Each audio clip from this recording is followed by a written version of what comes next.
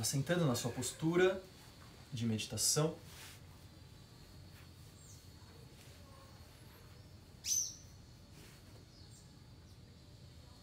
E observe como é. Né? Perceba isso que eu estava falando agora há pouco. Como é sentar nessa postura para você? Como é manter as costas retas? Será que é possível manter as costas retas? Às vezes não é possível. E aí simplesmente é necessário criar um ajuste.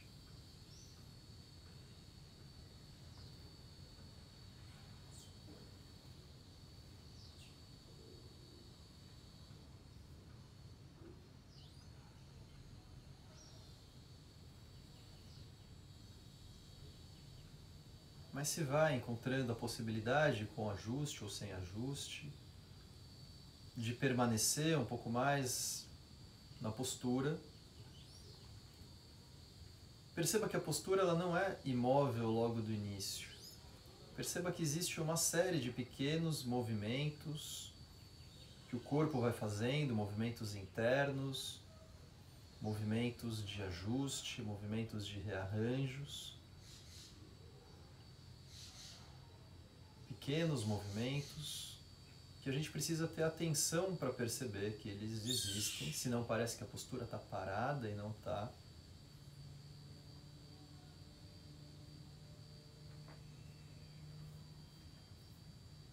Então mantenha sua atenção nesses movimentos e permita que o corpo faça seus micro movimentos para que você vá se sentindo cada vez mais firme, mais leve e mais confortável na postura.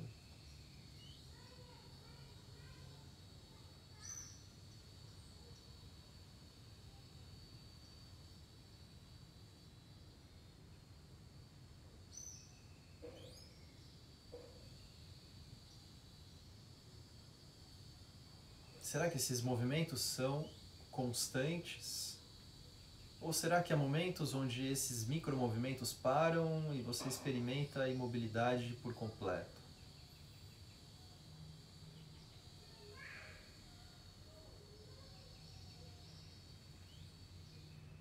Nesse momento, a gente tem a intenção de encontrar uma postura firme, leve e confortável, e com essa intenção, é provável que o corpo fique se ajustando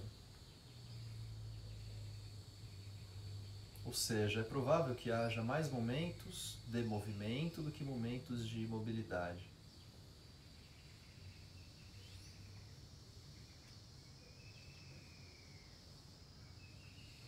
Mas se você percebe que a sua postura encontra firmeza, leveza e conforto,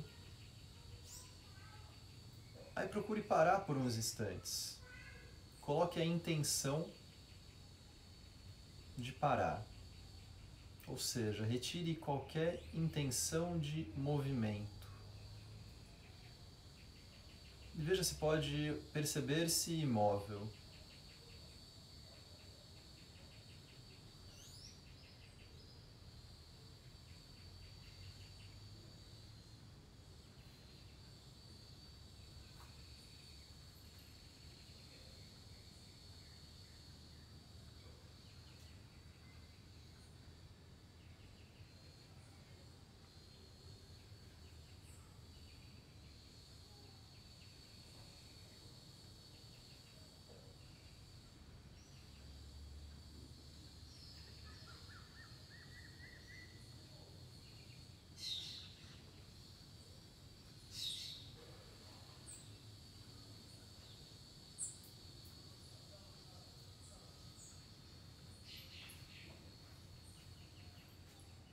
Então, com as mãos apoiadas nos joelhos, vai balançando o corpo de um lado para o outro. Procure não flexionar a coluna assim como eu estou fazendo, não fazer esse tipo de movimento, mas fazer uma flexão lateralmente do corpo com as costas retas. E eu penso numa metáfora como se fosse um guarda-sol, aquele cabo do guarda-sol que você vai colocando na areia e nesse momento você vai querendo abrir espaço nessa areia. E o guarda-sol não tem, não vai entortando, você vai levando o guarda-sol, esse cabo do guarda-sol de um lado para o outro, mas o cabo reto. E é como a gente faz com a coluna agora, vai levando de um lado para o outro, mas com a coluna completamente reta. Vai explorando essa amplitude. Até onde você consegue inclinar lateralmente o tronco com as costas retas.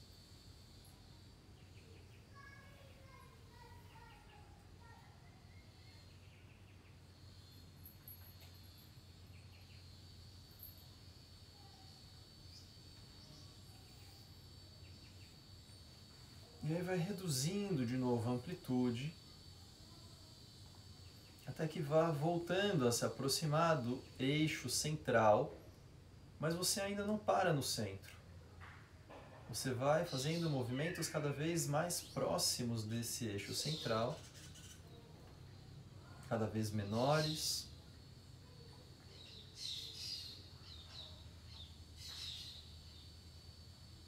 Até que esses movimentos vão ficando imperceptíveis para quem olha de fora mas você ainda sente.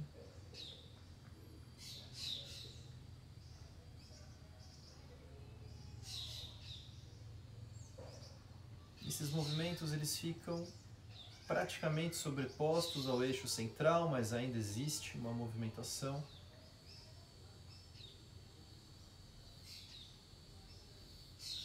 Até que essa movimentação ela se resume quase que a só uma intenção de movimento.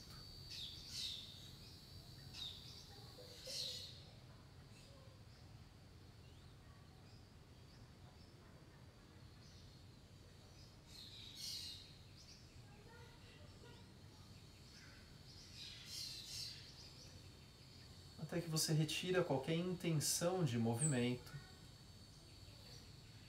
e a postura para no centro.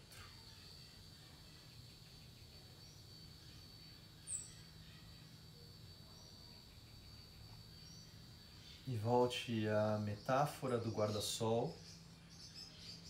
Veja se pode sentir que esse guarda-sol agora está mais firme na areia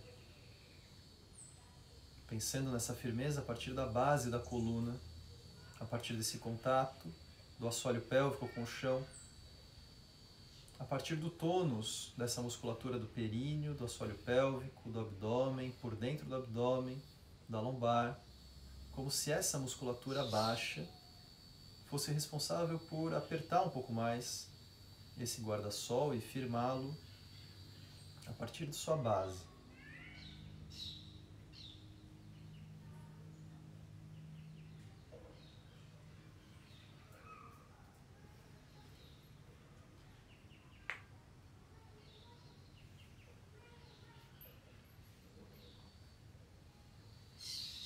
vamos fazendo movimentos de outra natureza agora, movimentos de torção. A gente tem feito isso, uma torção sem a ajuda das mãos no início, apoiando palma com palma.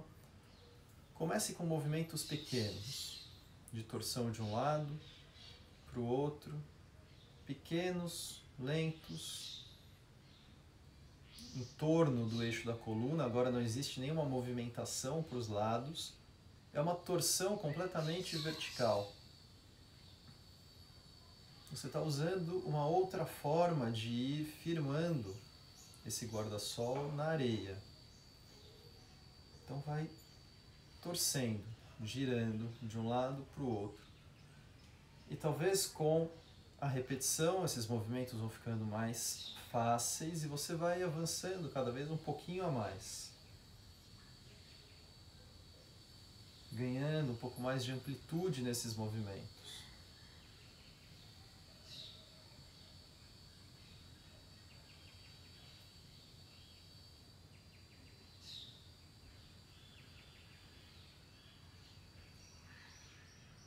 Quando vai torcendo para o lado, você solta o ar e quando volta para o meio, deixa o ar entrar. Cada vez que vira, chega no seu limite na torção, termina uma saída do ar e quando chega de volta no centro, o ar entra.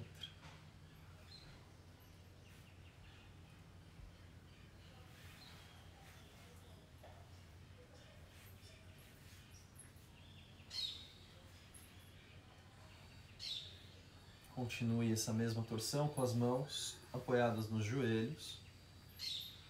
E agora você vai fazendo o retorno aos poucos. Então você vai reduzindo a amplitude dos movimentos.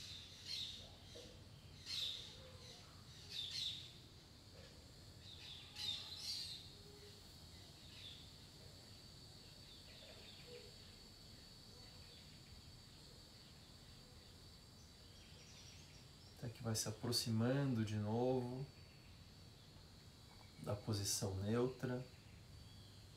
Os movimentos ainda existem, são pequenos,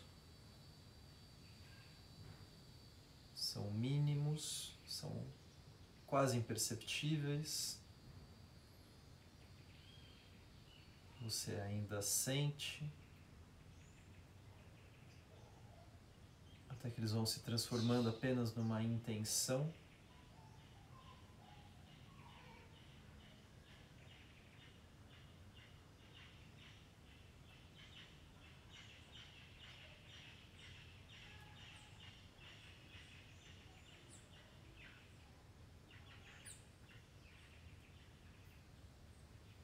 Você retira até mesmo essa intenção e para.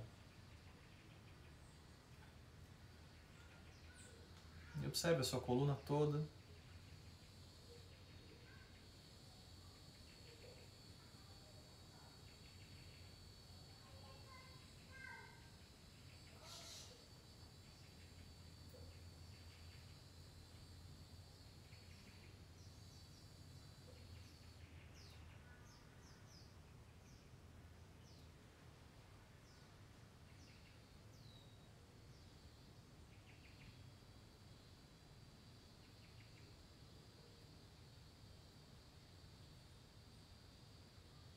Observe os movimentos respiratórios ao longo do eixo da coluna, de cima para baixo, de baixo para cima.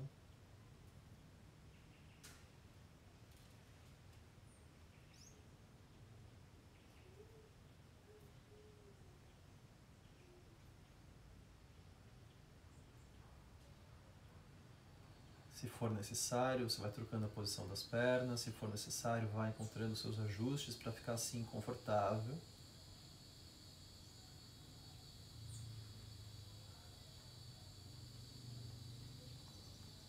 Então, se a gente fez inclinações laterais e torções com o objetivo de perceber e observar a região do eixo da coluna e a região em volta da coluna, a gente vai continuar observando essa mesma região, mas colocando um pouco mais de intensidade nesses alongamentos. Então deixe a palma das mãos apoiadas no chão Leve o braço direito estendido lá para cima. Estenda, cresça. Mão esquerda apoiada ao lado do quadril. E você vai inclinando para o seu lado esquerdo, distanciando um pouco a mão esquerda do quadril. O braço direito bem estendido. E você vai até onde for confortável antes de ter uma tendência de tirar o lado direito do quadril do chão. Braço direito estendido. E observe os movimentos respiratórios, existe uma tendência de levar a atenção para essa lateral direita do tronco, musculatura entre as costelas, musculatura do abdômen, essa região próxima também ao quadril, talvez a região lombar. E a gente pode começar observando o alongamento, onde ele é mais evidente, mas depois vai levando essa atenção para um alongamento mais próximo daquilo que a gente estava observando, daquele eixo da coluna. E compare a musculatura do lado direito, alongada, com a musculatura do lado esquerdo da coluna.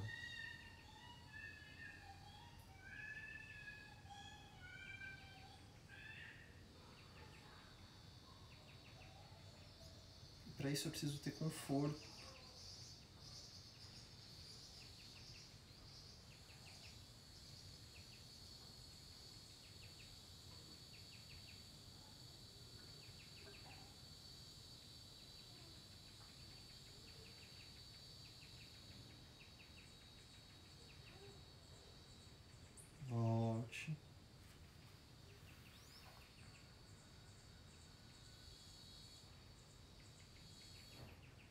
quando volta, compare.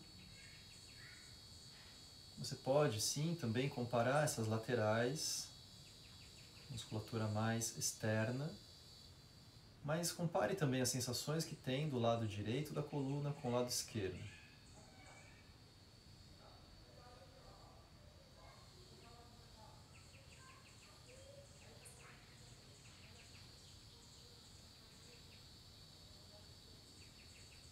Observe esse guarda-sol, como parece que ele fica.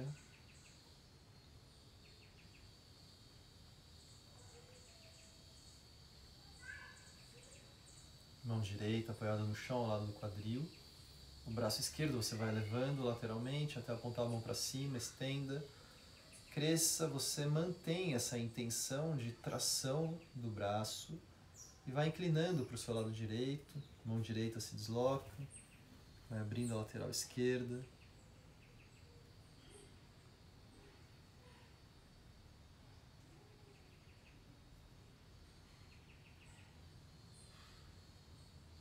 Pode começar observando onde o alongamento é mais evidente, mas vá direcionando a sua atenção cada vez mais para aquilo que acontece do lado esquerdo da coluna.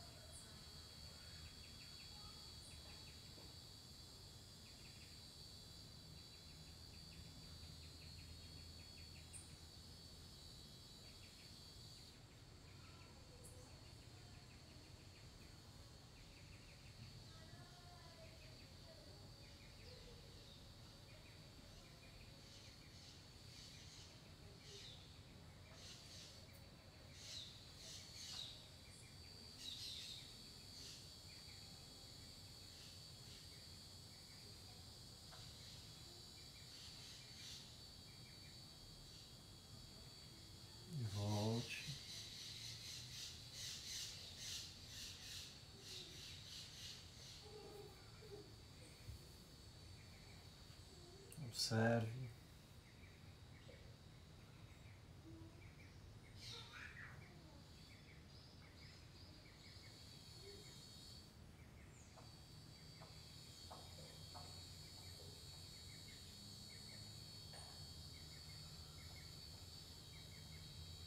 Torcemos a mão direita no joelho esquerdo, a mão esquerda no chão, na direção da coluna. Com a força dos braços, você vai puxando, torcendo, levando o ombro esquerdo bem para trás. A cabeça acompanha. E você pode de novo começar observando, talvez onde o alongamento seja mais evidente. Mas logo vai direcionando a sua atenção para o centro, para o eixo, para essa torção que acontece na coluna, onde o quadril fica fixo e o ombro, se os ombros viram e o ombro esquerdo lá para trás, mas os ombros torcem. Qual o efeito dessa rotação, torção dos ombros na coluna inteira?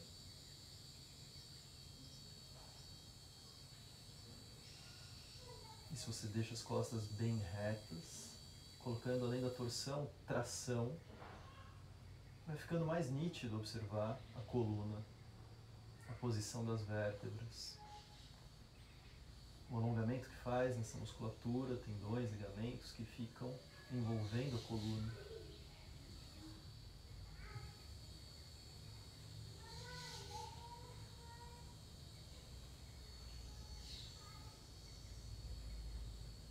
Devagar volte.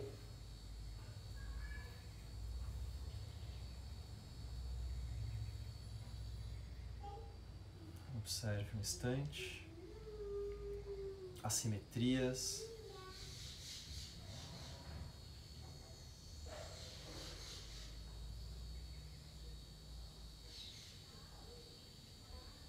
torça para o outro lado, mão esquerda no joelho direito, a mão direita no chão. Essa mão direita, além de ajudar a torcer, ela ajuda a manter as costas retas no próprio eixo, ajuda a dar tração. Quanto mais você for capaz de colocar tração, mais vai ser capaz de torcer.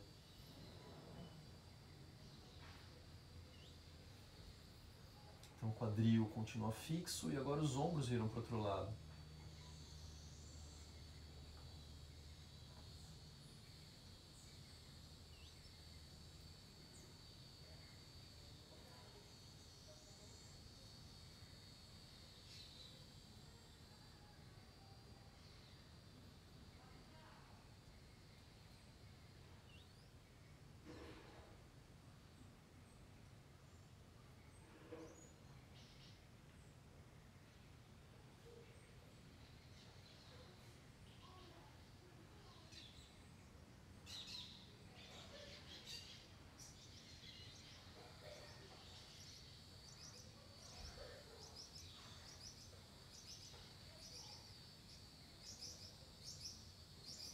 Volte.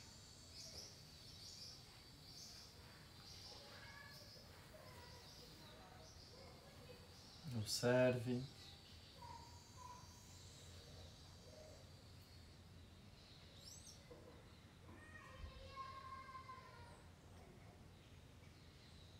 Será que vai ficando mais evidente a existência desse eixo da coluna? Será que vai ficando mais perceptível?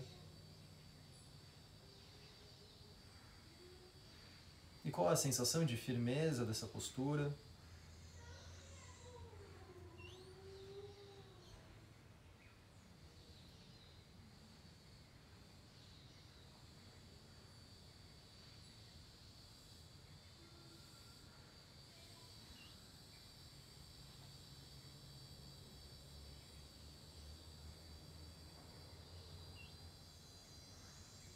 Gente vai passando agora por algumas outras posturas meditativas que podem ser usadas para as práticas sentados e que se não forem usadas para essas práticas sentados, que pelo menos sirvam então como uma forma de melhorar a mobilidade da sua postura de meditação.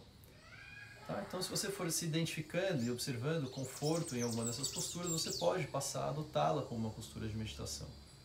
Se não, é importante ir praticando para ir dando mais mobilidade, mais conforto para aquela sua postura escolhida. Então, perna esquerda continua como estava, o pé direito você leva para trás, para o mesmo lado, lado direito do quadril, e apoia o peito do pé no chão ao lado do quadril. Tá? Você não senta sobre o pé, o pé fica bem do lado do quadril. E a parte interna do pé esquerdo fica apoiada nessa coxa direita. Apoie-se nas mãos, procure deixar as costas bem retas e alinhadas. E com a ajuda principalmente da mão esquerda, você vai aproximando o máximo que for possível o isquio direito do chão.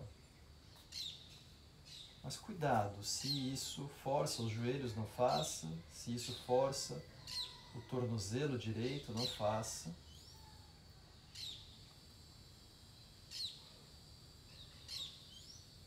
Então, a qualquer momento você pode voltar da postura. Se for fácil, você mantém. Para algumas pessoas isso é tão fácil que a pessoa gosta de meditar assim.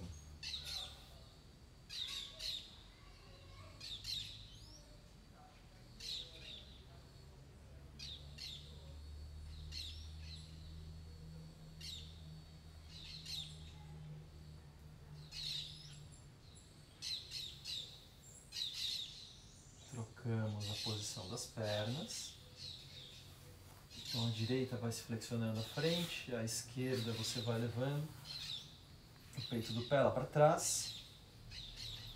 Comece apoiando as mãos no chão, com essa intenção de crescer, comece empurrando um pouco mais com a mão direita e aproximando o isquio esquerdo do chão. Cuidado com os joelhos, cuidado com os tornozelos. E se for confortável, você pode apoiar as mãos nos joelhos, e se observa um instante. Se não for confortável, você desfaz e já vai voltando.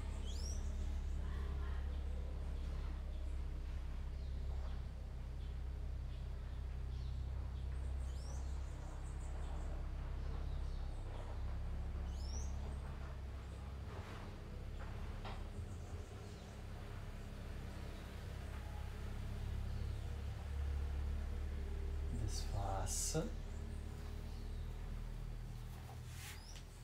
E nós vamos fazendo Gomukhasana. Então a perna esquerda vem por baixo e agora você vai apoiar o peito do pé do lado direito do quadril. A perna direita vem por cima e você vai apoiar o peito do pé do lado esquerdo do quadril. As mãos ajudam puxando os pés bem para trás, os joelhos ficam sobrepostos ou o mais perto disso. E você pode manter as mãos apoiadas sobre a planta dos pés e use esse apoio das mãos para aproximar os isquios do chão, para encontrar o seu eixo.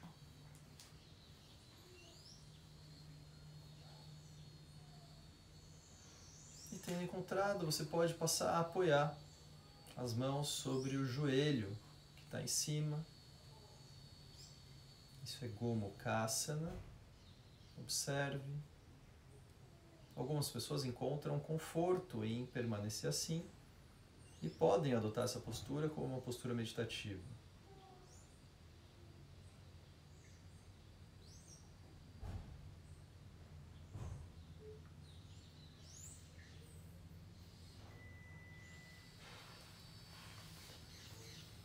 Vá apoiando as mãos no chão, à frente dos joelhos.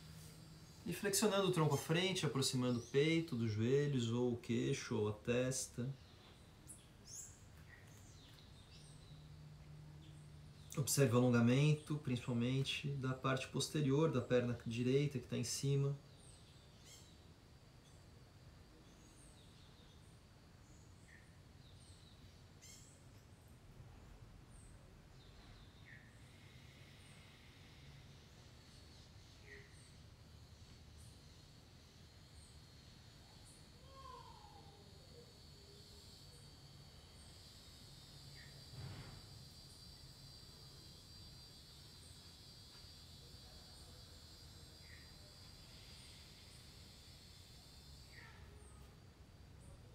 Volte. Se observe mais um instante, veja se fica mais cômodo manter.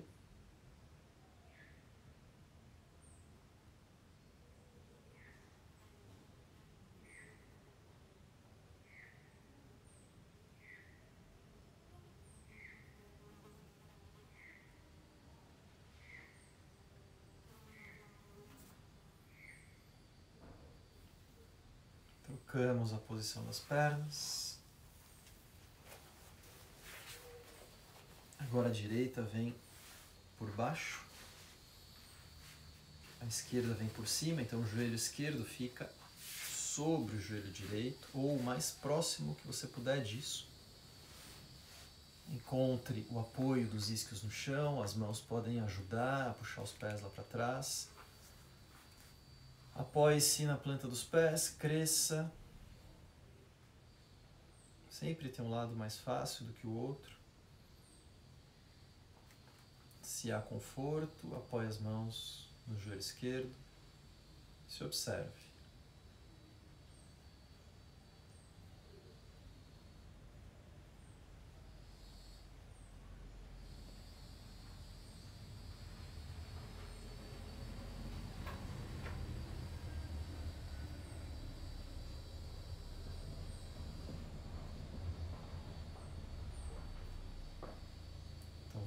Apoiando as mãos no chão, à frente dos joelhos, flexionando o tronco à frente, aproximando o abdômen das coxas, aproximando o peito, queixo ou testa do joelho.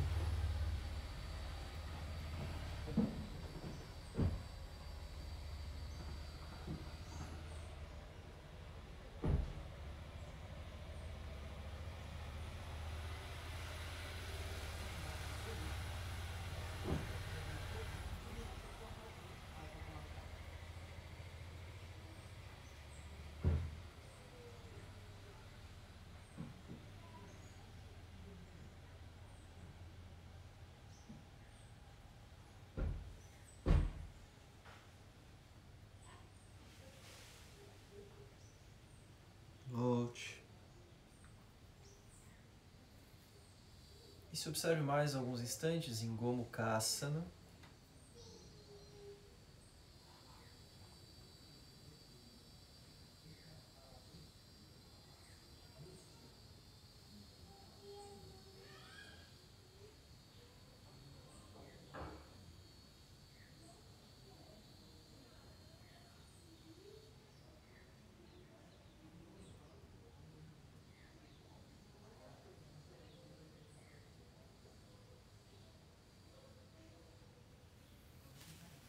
Desfaça a posição das pernas. Vamos passando a Vajrasana. Então, você vai flexionando os joelhos, sentando sobre os calcanhares. Se possíveis, se possível, os pés e os joelhos próximos, você vai sentando sobre os calcanhares. Para algumas pessoas isso é muito desconfortável, então você apoia as mãos no chão e distribui uma parte do peso do corpo para as mãos e com isso você vai treinando esse alongamento dos tornozelos e da parte anterior das pernas. Para quem é confortável, tanto para os joelhos como para os tornozelos, solta o peso completamente sobre os calcanhares e se observa. Isso é uma outra postura de meditação, Vajrasana.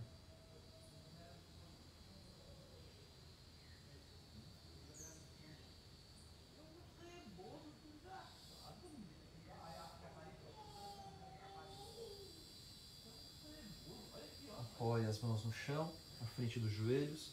Vá apoiando os dedos dos pés no chão.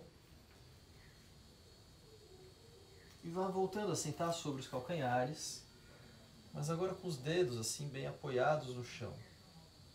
Fazendo alongamento da planta dos pés. Isso não é Vajrasana, mas isso pode ser uma das formas de preparação. Além de ser um ótimo exercício de alongamento para essa parte, a planta dos pés, que a gente dificilmente alonga.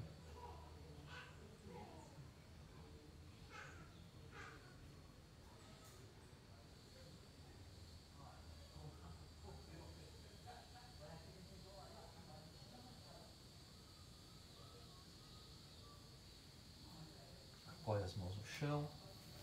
Voltamos para Vajrasana. Talvez tenha ficado um pouco mais fácil, pelo menos no início. Se observe. Essa é uma postura onde a gente tende a ter mais facilidade em deixar as costas retas, naturalmente eretas, como se estivesse em pé.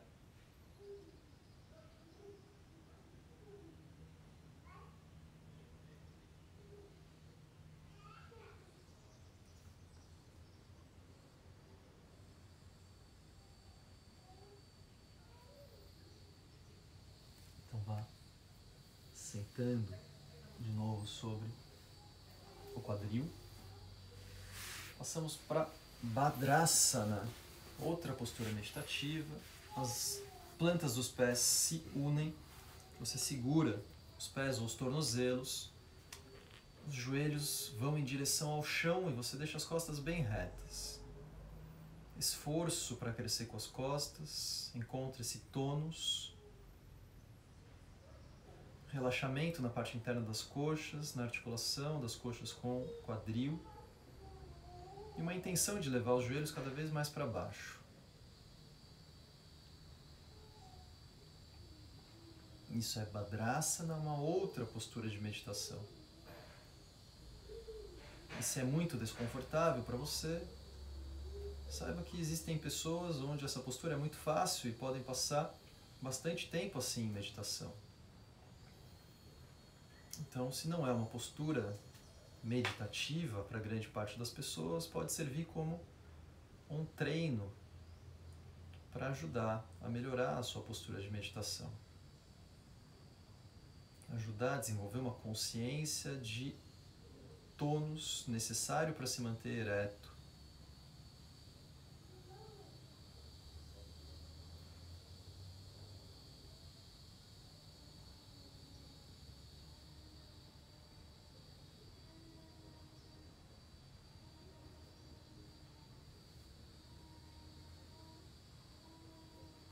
desfaça. E daí passamos para Dandasana. As pernas estendidas à frente, as costas retas. Comece apoiando a palma das mãos no chão, aos lados do quadril e use as mãos para gerar tração. Cresça. E vá procurando tornar esse contato das mãos cada vez mais leve, cada vez mais desnecessário. E veja se pode tirar o contato das mãos e apoiar as mãos nos joelhos ou nas coxas. E se você se arrependeu, volta lá ao contato das mãos. Procure manter as costas retas. Isso é dandasana, uma outra postura meditativa. Para algumas pessoas é muito confortável ficar assim, para outras existe uma tendência muito grande de cair lá para trás.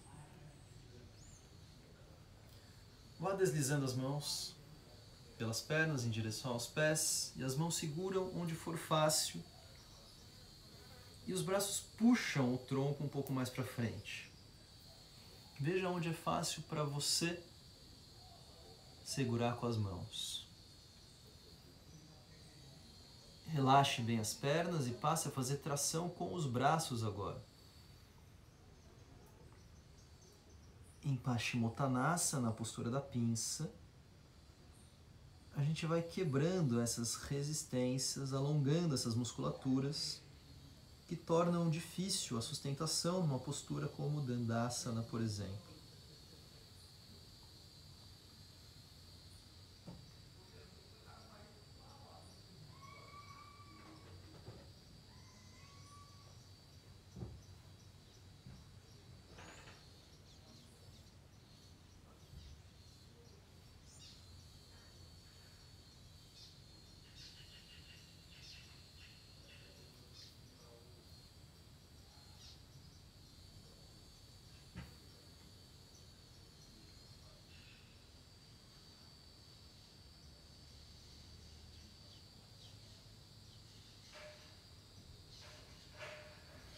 E volte devagar. Vá deslizando as mãos até apoiar sobre os joelhos ou coxas. Se observe de novo em Dandasana.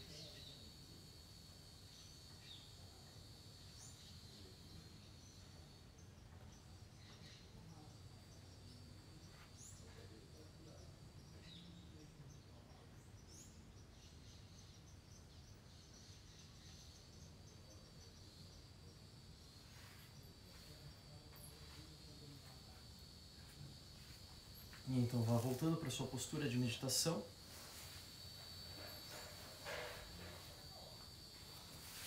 E se observe.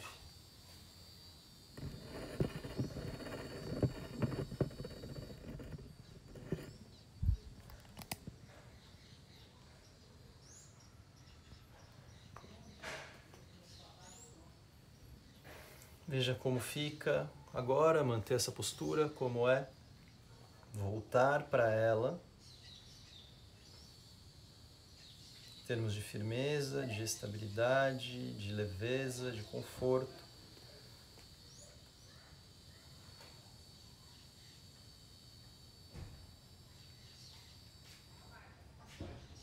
Ou se talvez tenha se identificado com alguma dessas outras posturas meditativas e prefira permanecer mais tempo em outra